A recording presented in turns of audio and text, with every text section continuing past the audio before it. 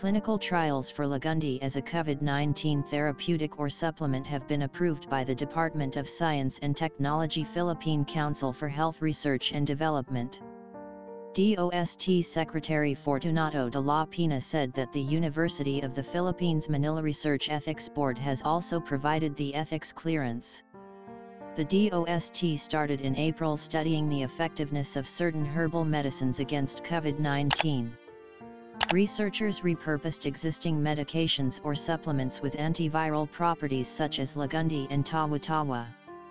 Tawa-Tawa is known as a supplement for dengue, while Lagundi is widely used as a cough remedy. In an interview last month, de la Peña said you can create new formulations with Lagundi and Tawa-Tawa. Even Tufit has evidence in treating other diseases, we will be making a different formulation. The clinical trials will be conducted by the UP Philippine General Hospital. Meanwhile, the application for clearance from the Food and Drug Administration FDA for the conduct of the trials is still ongoing according to the agency.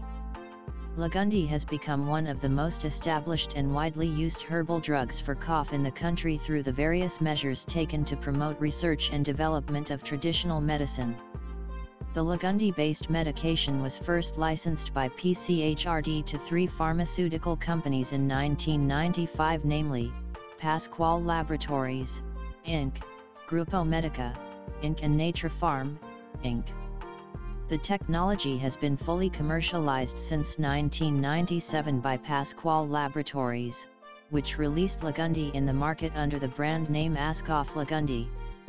In accordance with the Technology Transfer Act of 2009, PCHRD then transferred the entitlement of the technology to UP Manila on behalf of the National Integrated Research Program on Medicinal Plants in 2012.